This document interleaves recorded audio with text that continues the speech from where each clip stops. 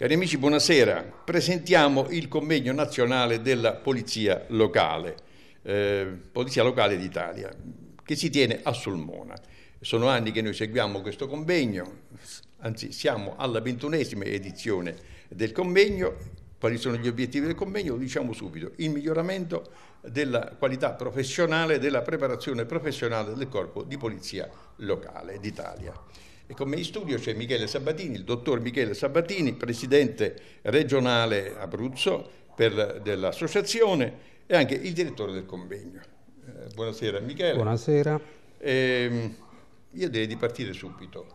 Partiamo subito. Come si presenta questa ventunesima edizione del convegno?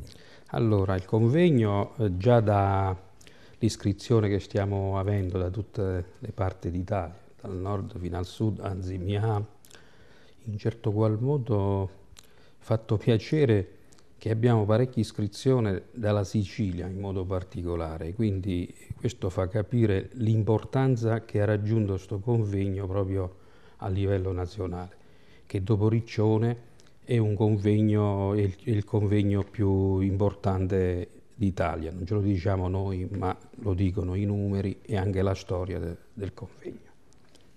Ecco, vediamo adesso il titolo, che è importante perché il titolo è, diciamo, è il filo conduttore. Eh beh, sì, sì, sì, sì. Te... Parliamone un momento. Allora, il titolo è importante anche perché poi racchiude in, nel titolo stesso anche quelle che sono poi le stesse sessioni di lavori, ma in particolare una in, in, una in modo determinante. Il titolo è Il decreto sicurezza urbana e la centralità del territorio, potere dei sindaci e il ruolo delle polizie locali. Perché questo? Perché c'è stato il decreto sicurezza urbana che è stato emanato a breve con un, una legge, la legge 48 del 2017, che eh, in qualche modo cerca di eh, rimodellare quello che è l'intesa e l'integrazione tra eh, eh, i sindaci, quindi le polizie locali, i questori e quindi le polizie, le forze di polizia dello Stato. Eh, ci si riuscirà oppure no? Questo è poi, lo, come si dice, il futuro che ce lo dirà vedremo. e ce lo fa capire, vedremo. Beh. Anche perché in passato già eh, abbiamo avuto un decreto simile, il decreto Maroni di qualche anno fa, che ho l'impressione che questo è un po' il clono no? di quello stesso decreto, che mh, non è stato mai poi attuato in, modo determinante.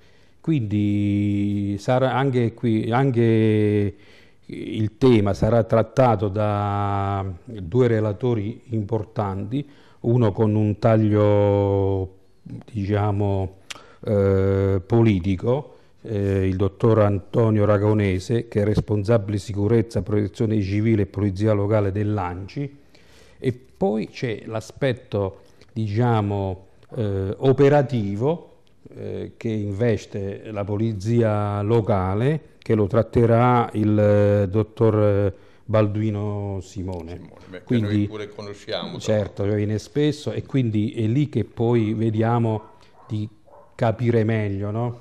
eh, quali sono gli obiettivi veri di, di, questo, di questo convegno e le criticità che poi avremo nell'applicarlo. Sicurezza è un termine oggi estremamente importante nelle città, per fortuna l'Italia è immune almeno al momento, eh, anche oggi purtroppo c'è stata sì, una strage, sì. eh, questo è, sta accadendo molto sì, frequentemente, quindi anche la polizia locale è impegnata a cercare di prevenire e, e, certamente, certamente, in particolare nelle città metropolitane addirittura città hanno creato anche dei gruppi sì. specifici, speciali. E una cosa volevo dire che mh, voi chiarite anche qual è il ruolo del sindaco nei confronti della polizia locale. Io credo che la polizia locale sia il braccio destro del sindaco, perché la polizia locale è, è, diciamo, è, è la mano forte de, de, del sindaco. Senza la polizia locale il sindaco potrebbe fare ben poche cose. Ne parleremo poi eventualmente al convegno Con, quando ci sarà sicuramente il sindaco Senza. di Sulmona.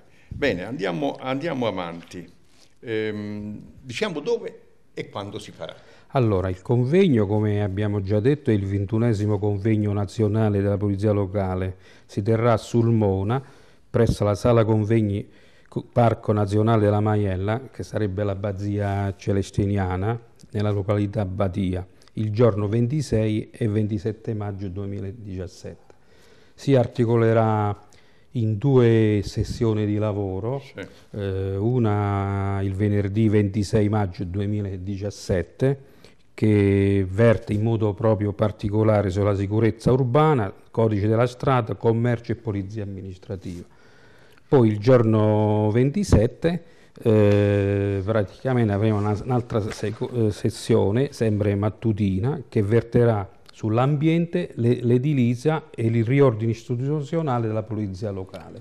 Per i relatori abbiamo già parlato, lei l'ha già accennato, sì. ma ecco, vorrei un attimo che lei mi dicesse l'impegno che avete per i relatori, perché io credo che un convegno è un convegno importante se ci sono relatori importanti. Certamente. E poi mi pare che in questi anni eh, che io vi ho seguito da tanto tempo, eh, avete sempre invitato relatori di un Vabbè, certo ma. Ma noi abbiamo avuto relatori di di uno spessore nazionale e alcune certo. volte anche internazionale, perché abbiamo avuto relatori che eh, sono esperti di criminologia a livello nazionale e internazionale e sono venuti sempre a Sulmona e questo lo devo dire sempre in modo amicale, cioè si è creato nel corso degli anni, perché è il ventunesimo, quindi una forma di, di amicizia ma non l'amicizia con Michele Salvani, ma in particolare con la città di Sulmona e anche con, e con l'associazione. sì, sì, sì, allora parliamo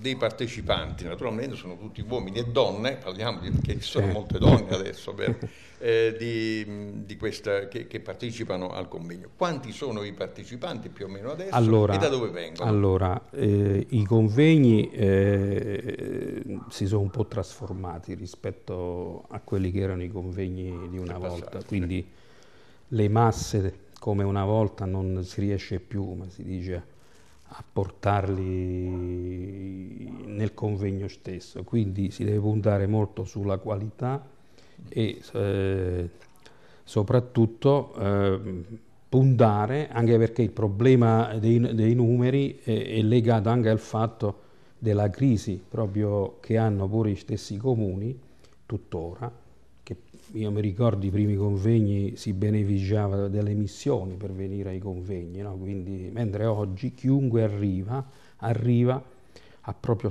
eh, proprie spese, cioè sono loro che affrontano queste spese. Poi per quanto riguarda la provenienza, già da, dall'iscrizione che abbiamo avuto, come, come già anticipato, eh, abbiamo delle presenze dalla Sicilia, eh, Puglia, eh, Umbria, eh, Trentino, quindi eh, eh, i locali ovviamente ancora pochi si sono iscritti, quindi li invito Beh, a possono iscriversi anche all'ultimo momento. Però si possono iscrivere anche, anche all'ultimo momento, ecco. anche perché chi viene da lontano deve anche eh, prenotare tutta una serie di cose, certo. hotel eccetera.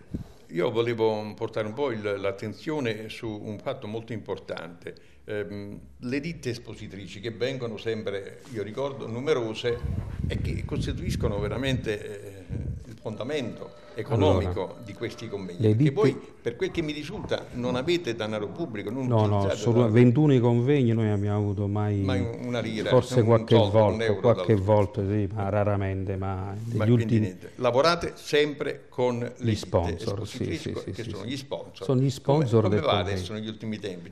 allora, negli ultimi anni ci sono difficoltà perché eh, la crisi economica l'hanno risentito tutte le ditte, comprese le, gli sponsor nostri, quindi eh, diciamo che quella fiera no, che noi riuscivamo eh, fino a 3-4 anni fa, addirittura all'atere del convegno, creare una fiera espositiva, adesso c'è difficoltà a coinvolgerli, anche perché io, alcuni di questi ditti addirittura hanno chiuso proprio per l'aspetto, hanno chiuso, proprio. hanno fallite. chiuso, fallite, quindi, e questo per noi è un problema perché ogni anno diventa sempre più difficile organizzare Avete meno soldi. Eh. Abbiamo meno soldi quindi... E questa è purtroppo la situazione. Allora, Però non demordiamo, quindi riusciremo avanti. avanti sì, sì, e parliamo di questa associazione, associazione professionale di polizia locale d'Italia. È un'associazione, non è un sindacato, cari amici, voi che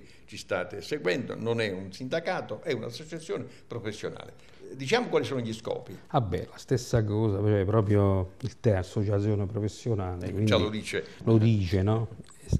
Che in qualche modo l'obiettivo nostro è quello di elevare la professionalità del, dell'operatore della polizia locale, anche perché eh, solo così si può essere sempre presente e, e in più ed è presente in quello che è il contesto del territorio e stare sempre a disposizione dei cittadini in un modo diciamo professionale. Questo è proprio lo scopo, non è che ce ne sono diciamo, altri. Certo. C'è la difesa del, del, del, dell'operatore, no? no quello, è com- quello, è compito del sindacato. Io quindi. mi permetto, della, sì. a parte la difesa economica o, o diciamo di statuto o di altro, eh, eh la preparazione professionale. Sì, sì, Questo sì, è, è, l'obiettivo che ci ma è sempre poi, posto. Ma poi questo... Io vi ho seguito da molti anni, potrei fare anch'io il concorso di video urbano, insomma, eh, sono ma, sicuro di vincere. Ma questa è una cosa importante perché poi eh, sti convegni che noi in, in tutta Italia ne, ne facciamo di quelli importanti due o tre tra cui quelli sul mondo, ma le giornate di studi, i seminari, di cui uno ultimamente l'abbiamo avuto pure a Raiano, no? ne facciamo un centinaio e questo sostituisce anche quello che è eh, l'impegno che dovrebbero avere gli enti, i eh. comuni stessi o, e o la regione a professionalizzare quello che i propri dipendenti. Quindi noi ci sostituiamo anche all'ente stesso. Quindi dove c'è carenza dell'ente c'è il soggetto proprio, c'è il soggetto. corpo che si muove, eh, sono gli uomini e le donne che si muovono per conto proprio con poche risorse e, e riescono a migliorare la loro e questo è un vando proprio per la è un vando categoria, è un vando, sì, e dobbiamo, fanno i sacrifici. dobbiamo darvi merito di questo. Io volevo invitare la nostra regia a inquadrare la statuetta di Ovidio che abbiamo qui davanti. Sì. Sabatini sa perché la voglio fare? Perché questa statuetta è stata, è opera di alcuni ragazzi cosiddetti diversamente abili, che sono forse più abili di noi a fare certe cose. Certamente. E stanno facendo molte statuette, ecco se l'operatore riesce a inquadrarla meglio questa statuetta in primo piano, ecco bravo, ecco, va benissimo così. E allora stanno lavorando, lei sa bene che adesso siamo nell'anno ovidiano, è il millenario di Ovidio, dobbiamo ricordare in tutte le maniere, e loro a pieno titolo vogliono partecipare a queste, queste giornate, a quest'anno di Ovidio e hanno realizzato una serie di statuette, anche quelle più piccole, ci sono queste più grandi, e le danno in giro diciamo, non le vendono, però se qualcuno vuole dare un'offerta, un'offerta, e vuole ricordare bene Ovidio, tenerlo in casa, perché Ovidio è il nostro grande padre, insomma, no? di, di tanti anni fa e dobbiamo anche rispettarlo in questo modo, lo può fare può rivolgersi direttamente al dire, Ma io non so al, se si fa in tempo, ma noi possiamo anche magari dargli una, uno spazio espositivo. Uno spa- benissimo vediamo uno spazio espositivo e, e, quindi Bene. date che vengono da tutte le parti dell'Italia. Sono eccetera. contento di questo e saranno quindi, contenti quei ragazzi che quindi, hanno bisogno del nostro sostegno, del nostro aiuto. Eh, queste, queste statuette praticamente lì è diventata una fabbrica di obiettivi. Ci sono centinaia di statuette purtroppo immendute che sono lì in magazzino. E questo allora, può essere un'occasione. È un'occasione anche propizia. Sì. Io voglio solamente e velocemente dire che questa statuetta si può trovare nella eh, tabaccheria sotto i portici di Corso Video al numero 259 oppure Confetti Ovidio sul Mona in Corso Video 205 angolo piazza 20 settembre.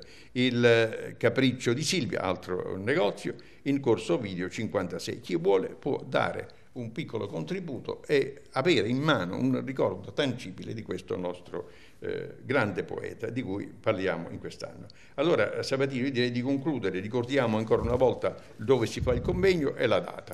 Allora io faccio un appello a tutti ecco, i, i, colleghi, no? eh, praticamente di arrivare in massa, sperirei, possibilmente, possibilmente Il convegno quindi eh, si terrà il 26 e 27 maggio corrente anno presso la sala convegni Parco Nazionale della Maiella e quindi sarebbe, come abbiamo detto prima, l'abbazia celestiniana eh, all'Abbadia, insomma, la località Bene, Abbadia. Abbadia. Quindi vi aspettiamo tutti. Bene, cari amici, possiamo concludere qui, grazie per averci seguiti, buonasera.